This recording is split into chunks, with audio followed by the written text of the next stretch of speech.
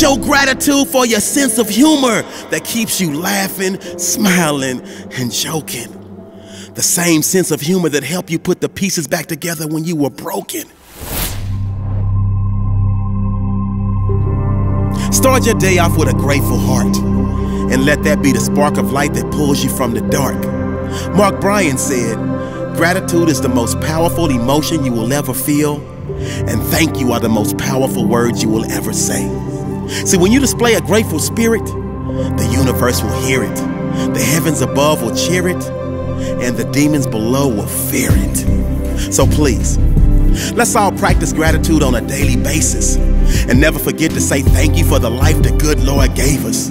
It may not be rainbows and sunshine all the time, but I guarantee if you take a moment to reflect, you will definitely find a reason to be thankful for your heart and a reason to show gratitude for your mind. Or better yet, what about that time when you almost did? You know what?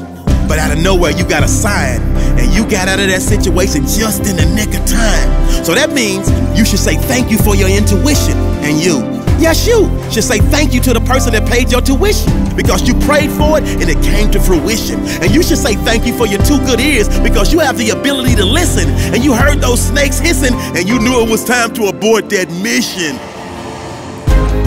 Say thank you for your heart that knows how to mend when it's broken. Show gratitude for your composure that helps you control your emotions. Say thank you for your inner strength that help you overcome drinking and smoking. Show gratitude for your will that never allows whining and moping. Say thank you for your optimism that keeps you wishing and hoping. Show gratitude for your sense of humor that keeps you laughing, smiling, and joking. The same sense of humor that helped you put the pieces back together when you were broken. Show gratitude, my friend, because you're a child that's golden. William Ward once said, feeling gratitude and not expressing it, it's like wrapping a present and not giving it. I say, what good is it to feel the joy of gratitude in your heart and not be showing it and not be living it? Say thank you for what you do have, no matter how great or no matter how small, because there are many others who are not so blessed, for they have absolutely nothing at all.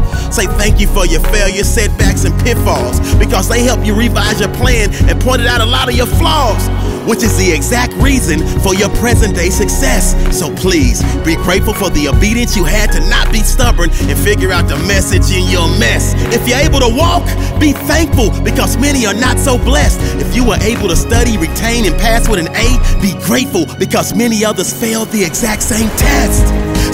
You for the courage you had to remove all your toxic friends. Show gratitude for all of your losses that eventually led to all of your wins. Say thank you for the love and affection you're able to give. Be grateful for the gift of life and the ability to give it your all because you only have one life to live. Say thank you for your sense of smell because mama's cooking always smells so good. Show gratitude for the determination you had to overcome and make it out the hood because many were not so blessed. Say thank you for your worst days because they help you truly appreciate when you're at your best. Say thank you, thank you, thank you. Be grateful for your talent because all the scouts rank you number one. So please never take that for granted and show gratitude for your parents that gave you great wisdom and planted seeds that you were able to water and watch blossom and exceed even your wildest expectations. Gratitude is the key. This is a fact, not a rumor.